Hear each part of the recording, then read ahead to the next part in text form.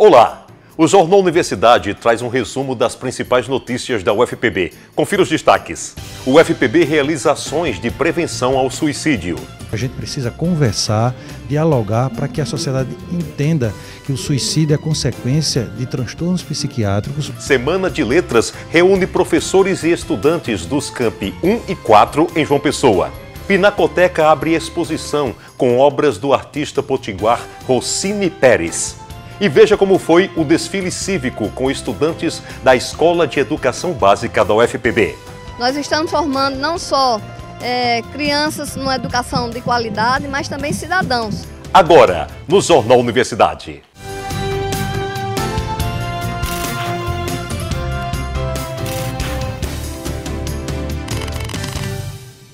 A UFPB e o Hospital Universitário Lauro Vanderlei estão juntos na campanha Setembro Amarelo, realizando uma série de atividades de prevenção ao suicídio neste mês. O Hospital Universitário Lauro Vanderlei, por meio do Ambulatório de Psiquiatria, aderiu à campanha Setembro Amarelo com a realização de palestras e mesas redondas que abordaram as maneiras de prevenir a depressão e o suicídio. O hospital ele é um parceiro, é um colaborador constante desse, dessa campanha na prevenção, na conversa, ou seja, na divulgação com seus profissionais, dialogando com a sociedade, é, tentando uma conversa solidária, responsável com a sociedade, diminuindo um tabu que a sociedade ainda tem sobre o suicídio. Ou seja, ainda é um tabu para a sociedade brasileira o suicídio. Então a gente precisa conversar, dialogar para que a sociedade entenda que o suicídio é consequência de transtornos psiquiátricos, na maioria das vezes, e que precisam ser tratados. E que exatamente os dados são tão graves do suicídio no Brasil e no mundo que precisa ter uma conversa mais transparente e mais clara com a sociedade para que a gente possa prevenir, principalmente entre os jovens. A reitora da UFPB participou da solenidade de abertura do evento e destacou a necessidade da discussão sobre o suicídio no meio acadêmico e em outras instâncias da sociedade, por se tratar de uma questão de saúde pública.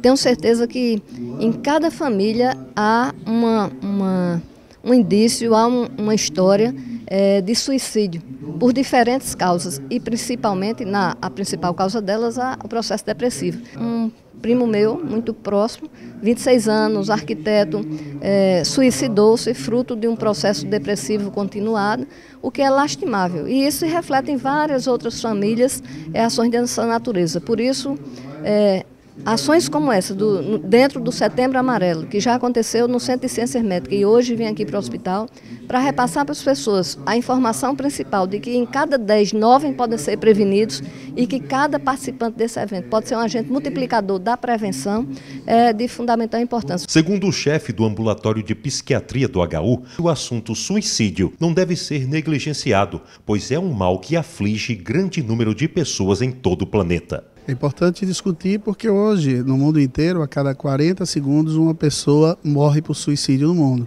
E a cada 4 segundos uma pessoa atenta contra a sua vida. Na Paraíba, hoje, a cada 72 horas, você tem um caso de uma tentativa de suicídio, e isso é muito grave. Entender sobre o que acontece com as pessoas, pedir para que essas pessoas possam solicitar ajuda, ouvir essas pessoas e encaminhar essas pessoas para um atendimento especializado é uma importante medida para que possa se salvar vidas. O professor Alfredo Minervino descreve o rol de serviços oferecidos pelo HU na prevenção e no controle de transtornos mentais que podem levar ao suicídio. O Hospital Universitário de João Pessoa, o Hospital Lauro Vanderlei, é a referência hoje no estado de tratamento em transtorno mental. Nós temos hoje um serviço que ele é composto por vários profissionais, uma equipe multiprofissional de enfermeiro, de terapeuta ocupacional, médicos psiquiatras, médicos residentes em psiquiatria, psiquiatras infantil, ah, é, fonoaudiólogos que estão junto, psicopedagogos que também estão junto, psicólogos também estão junto, então é, educadores físicos, toda essa equipe para tratar os pacientes com transtorno mental. E até o fim do mês, a Pró-Reitoria de Gestão de Pessoas realiza outras ações para a prevenção do suicídio direcionadas a professores e servidores técnico-administrativos. Na UFPB, a Coordenação de Qualidade de Vida, Saúde e Segurança no Trabalho uniu-se ao Subsistema Integrado de Atenção à Saúde do Servidor servidor na campanha Setembro Amarelo, com vistas a promover um conjunto de atividades de esclarecimento e de identificação de transtornos que possam causar o suicídio. A programação ela foi feita a partir do dia 6 de setembro até o dia 27, em que a gente vai ter algumas atividades realizadas pela equipe multiprofissional, entre elas serviço de escuta psicológica, atendimento psiquiátrico e avaliação de estresse. No dia 27 de setembro, a gente vai ter o dia D, que é, vai ser um evento aberto a toda a comunidade acadêmica, entre professores, técnicos e alunos, em que vai ser falado sobre o suicídio, né, para se quebrar alguns mitos e abrir um espaço de discussão acerca do tema. O local do evento vai ser no auditório do STI, a partir das 8 horas até meio-dia, com palestras de profissionais especializados e com mesa redonda aberto também ao público que desejar fazer perguntas, tirar dúvidas. Então a gente convida a toda a comunidade acadêmica e as pessoas que tenham interesse sobre o tema a, a estarem participando e serão muito bem-vindos. Este médico psiquiatra é membro da equipe multiprofissional do CIAS. Ele elenca quais são os profissionais de saúde envolvidos na campanha Setembro Amarelo, na prestação dos atendimentos e os serviços ofertados. Ao longo de todo o mês de setembro, nós, todos os profissionais aqui, que somos sete, além de mim, dos psicólogos, é, uma terapeuta de experiência somática e é, temos também duas assistentes sociais. Todos nós vamos estar disponíveis especialmente nas quintas-feiras à tarde, mas em qualquer outro momento que alguém com sofrimento mental precise de um atendimento relacionado a problemas, a ideação suicida, a gente vai estar aqui disponível, né, todas as quintas à tarde. Ele ainda descreve como os beneficiários podem realizar os agendamentos para serem atendidos durante a campanha. Os agendamentos eles podem ser feitos tanto pelo telefone do, da, da Coordenação de Qualidade de Vida, que, cujo ramal é 7113, como é, presencialmente na coordenação de qualidade de vida, no CIAS e é, lá em cima na DQV também. Na, no Departamento de Qualidade de Vida temos duas salas que também é, é, onde esses atendimentos também podem ser feitos. Um projeto da UFPB, em parceria com o Colégio da Polícia Militar, promove a conscientização de crianças e adolescentes sobre a violência contra a mulher. O Bússola Digital é um projeto criado pela professora Josilene Moreira, do Centro de Informática da UFPB, que visa a educação infanto-juvenil sobre a violência contra a mulher. Educar os alunos do ensino médio e fundamental é, sobre as perspectivas da violência, o que é violência, é, que fatos realmente a mulher sofre que não poderia sofrer, que podem ser denunciados, como reagir a esse tipo de violência. É, são formas de educar a comunidade escolar sobre a prevenção da violência contra a mulher. Tenho eu sentido bastante interesse da parte deles. É, alguns dos alunos já vêm participando dessa parceria da UFPB com o projeto Meninas da Computação desde o ano passado, desde de dois anos atrás, faz dois anos que já estão nesse projeto, né? E, então, assim, eles já entraram esse ano nesse projeto, nesse novo projeto, né, já é bastante animados para desenvolver. A parceria com o Colégio da Polícia Militar começou em 2015. As atividades do projeto são trabalhadas pela turma do terceiro ano do ensino médio, e entre elas está a criação de uma plataforma digital eles estão desenvolvendo um jogo 2D para rodar na internet e estão fazendo uma plataforma digital para conscientizar outros alunos como, eles sobre as dificuldades que as mulheres encontram e qual é, qual é a amplitude da violência. Eu soube que vocês fizeram uma enquete aqui na escola. Como é que funcionou? A enquete ela faz várias perguntas sobre como você deve abordar a violência dentro da escola, como agir os tipos de violências que podem ocorrer e nisso a gente descobriu que várias pessoas, a maior parte das meninas já sofreram algum tipo de violência e isso é uma questão muito grave.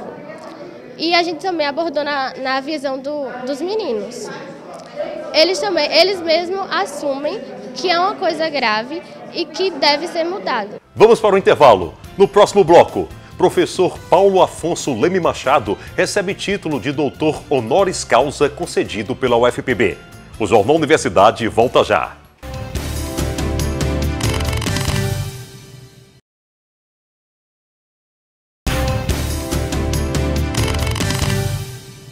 O Jornal Universidade está de volta.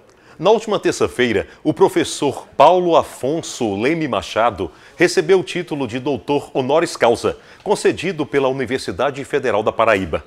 A solenidade aconteceu no auditório da Faculdade de Direito no centro de João Pessoa.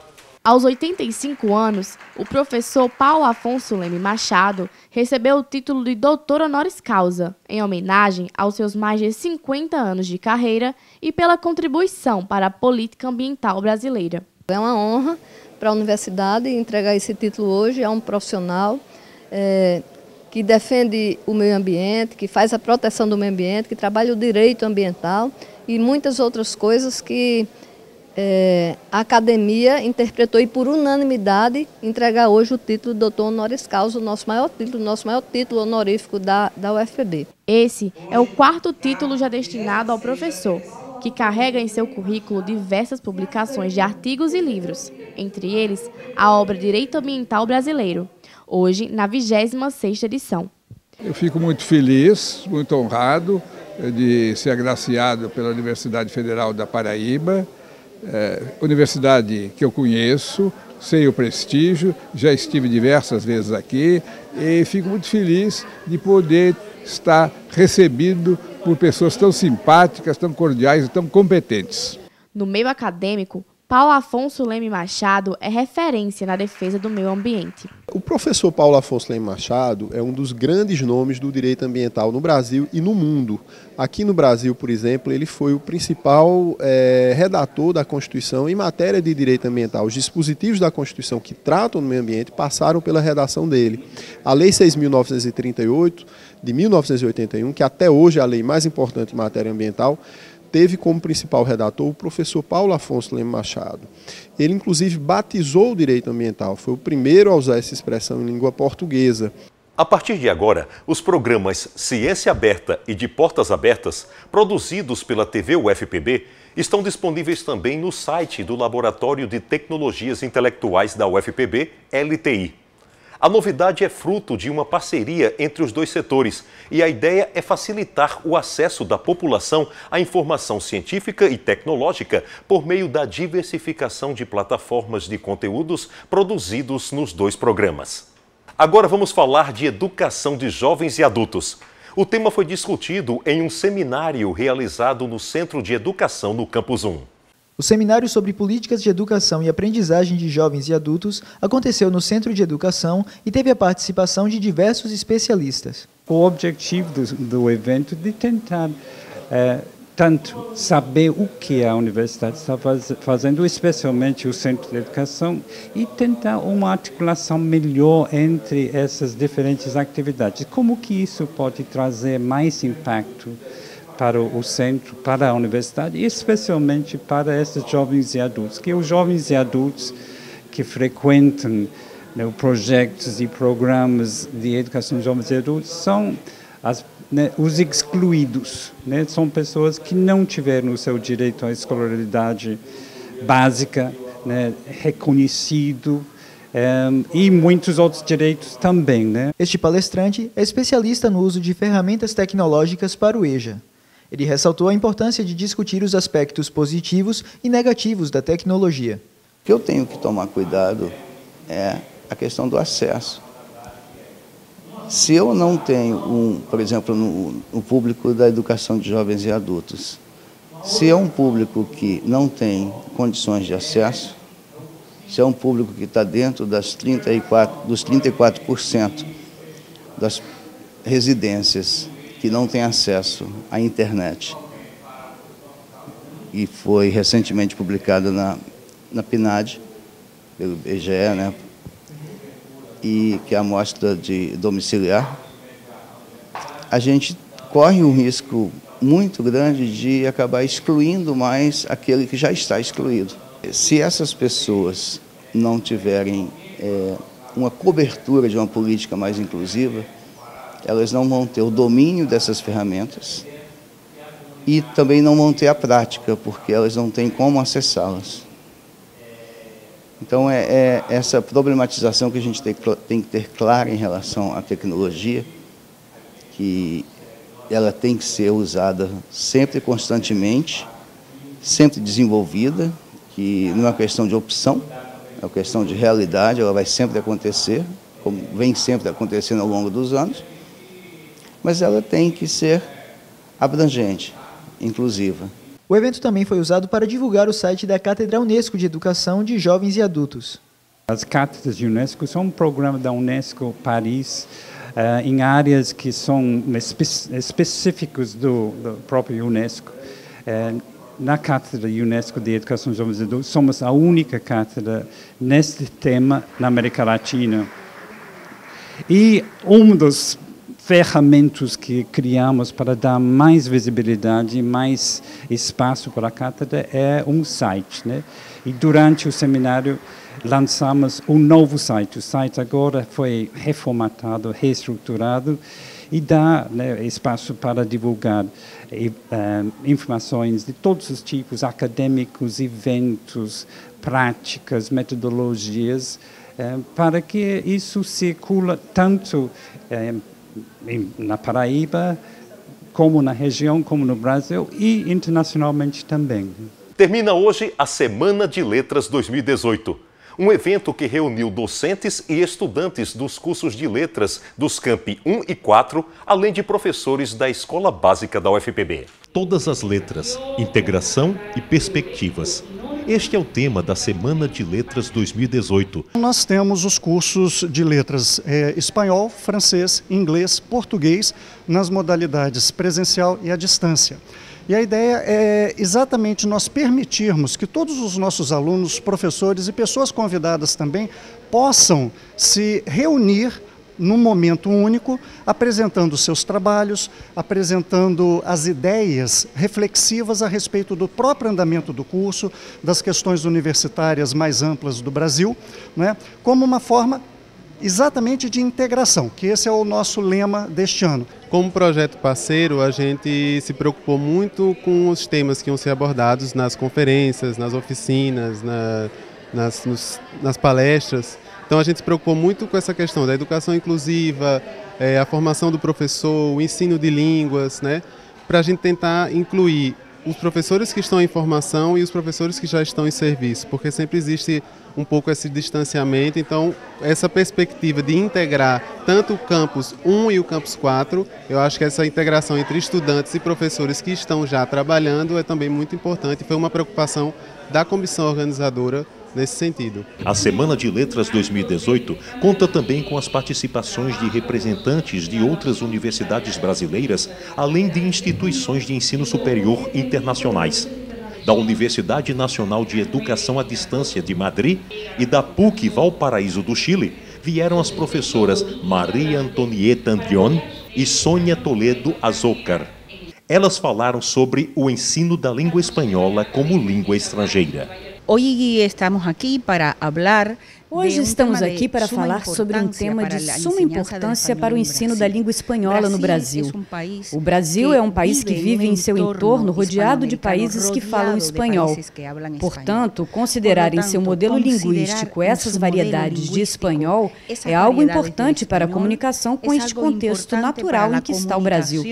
É sobre isso, precisamente, que viemos falar, sobre o papel da variação do espanhol no modelo linguístico para luso-falantes no Brasil. En el modelo lingüístico para luso-hablantes de Brasil.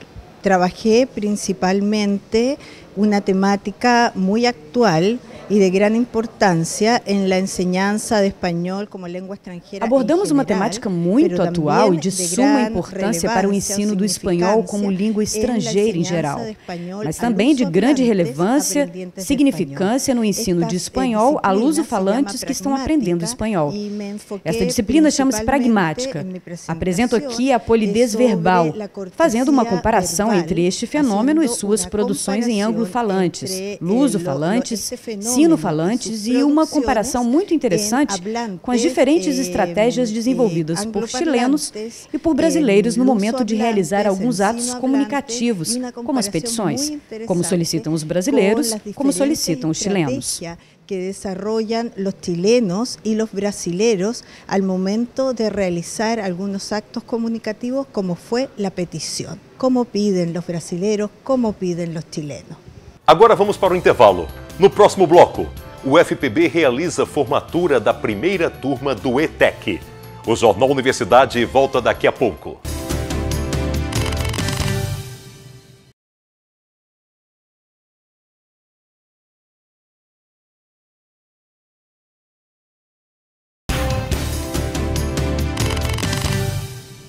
Estamos de volta. Um desfile cívico com alunos da Escola de Educação Básica da UFPB marcou as comemorações do Mês da Pátria. Todos os anos, a Escola de Educação Básica da UFPB organiza um desfile cívico dentro do Campus 1 da Universidade Federal da Paraíba para celebrar o dia 7 de setembro de 1822, dia em que o Brasil tornou-se independente de Portugal. Para a escola e para as crianças também é uma representação muito grande é, porque a gente visa, desde as crianças pequenininhas, é, é, resgatar a, o, o, patriotismo. Então, desde cedo, a escola ensina as crianças a é, conquistar o que elas estão tendo hoje. Alunos, pais, professores e músicos de duas bandas marciais partiram da Escola de Educação Básica em direção ao prédio da reitoria da UFPB onde foram recepcionados por pró-reitores, diretores de centro e pela própria reitora. Esse momento é de grande importância para as crianças, mas também para a instituição. Já é uma tradição a Escola de Educação Básica viabilizar esse evento cívico importantíssimo na vida das crianças, porque aí absorvem os valores éticos de civismo é, que se precisa ter com, com essa pátria. Nós estamos formando não só é, crianças numa educação de qualidade, mas também cidadãos. A Polícia Militar do Estado da Paraíba apoiou o evento. É tão importante a gente resgatar esses valores cívicos nas crianças. A gente precisa consolidar isso para a democratização do país, para o processo de democratização do país, isso é fortalecedor. Esta mãe de aluno da Escola de Educação Básica disse o que achou do desfile. Eu acho maravilhoso. Devido a toda essa evolução e globalização, o povo está esquecendo muito a nossa cultura, os nossos valores, onde temos que valorizar a nossa pátria, a nossa nação, ensinando nossos pequenos o valor da bandeira, o valor de ser brasileiro, e isso é muito importante para todos nós. Recentemente, aconteceu a formatura da primeira turma do programa ETEC Brasil na UFPB. A solenidade aconteceu no Centro de Ciências da Saúde, no Campus 1. A UFPB realizou no último dia 13 a solenidade de formatura da primeira turma do ETEC, programa que oferece cursos técnicos à distância para alunos do ensino médio. O programa começa no ano de 2017, é, através de uma pactuação feita pelo governo federal, onde iniciou a rede ETEC no âmbito da UFPB de maneira inédita, é, com cerca de 1.200 alunos e oito cursos regulares de ensino técnico à distância para ser realizado na modalidade concomitante ao ensino médio. Carlos José acabou de se formar no curso técnico de guia de turismo e pretende se aprofundar ainda mais nesta área em que se sente realizado me aprofundar mais, já que é um técnico, me profissionalizar mais na área, porque é uma área que eu me sinto realizado. Na última quarta-feira, aconteceu na Praça do Sintes PB a primeira edição do projeto Quarta com Jazz, idealizado pelo maestro Vasconcelos Júnior, que se apresentou ao lado do músico Marcos Rosa. A proposta é que as apresentações musicais aconteçam semanalmente, das quatro e meia às cinco e meia da tarde, nas praças do Campus 1. E tem exposição nova na Pinacoteca da UFPB. Quem for até o local vai poder conferir 29 gravuras do artista potiguar Rossini Pérez. A exposição Rossini Pérez acontece até o dia 18 de outubro, no primeiro andar da Biblioteca Central. As 29 gravuras exibidas vêm do acervo doado pelo artista ao UFPB em 2014. Esse artista doou é, 48 obras e agora que a gente está expondo. É uma satisfação que a gente está dando né, expondo é, 29 obras desse acervo. Para a curadora, é de grande importância para a universidade promover essa exposição. Ele é um gravador que começou a carreira dele como gravador em 59.